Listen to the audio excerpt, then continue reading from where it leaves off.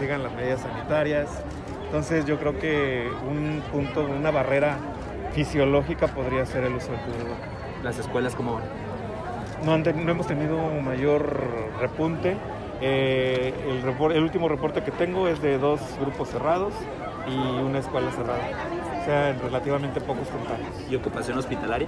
Está muy baja, hemos tenido hasta 20%.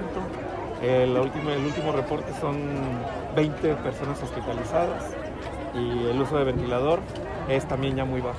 ¿Un último mensaje que mande? Pues hay que seguir cuidándonos, hay que seguir teniendo las medidas sanitarias adecuadas, esperar la, el, el, la sesión del Consejo Estatal de Salud para determinar cuáles van a ser los pasos de, a seguir, eh, que serían pa, pa, eh, pausados para la, la este, para la, la, el manejo de la pandemia. Ok, muy bien.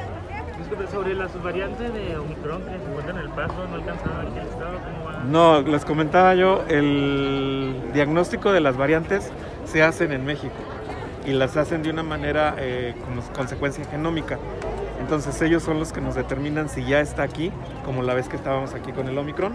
Entonces ellos son los que van a determinar si aquí en, en, en Chihuahua ya se encuentra la variante. Entonces hasta el momento no hay ningún reporte. ¿Perdón? Hasta el momento no hay ningún reporte. No, no hemos tenido ningún reporte de la subvariante Omicron, eh, Omicron BA2. ¿No se descarta una quinta ola para la, el estado o para la ciudad? De nunca, nunca lo podemos descartar eh, si tomamos en cuenta que en China ya está empezando esa quinta ola. Entonces, si nos ponemos a pensar, el COVID empezó en China, nos alcanzó en 3, 4 meses. ¿Qué estrategia se prevé para esto, para evitar una... Seguimos con la implementación de los recursos, tenemos este, establecidos ya los insumos que pudiéramos necesitar para el COVID, como les comentamos desde la vez que, que fui al Congreso a la comparecencia, están este, designado una partida para insumos de COVID.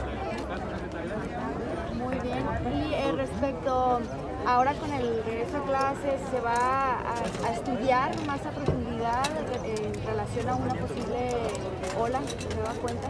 Mm, bueno, lo que tenemos que hacer es darle seguimiento, estamos monitoreando la, el, la evolución en las escuelas y a, hasta el momento no hemos tenido así como datos de alarma. En la Ciudad de México.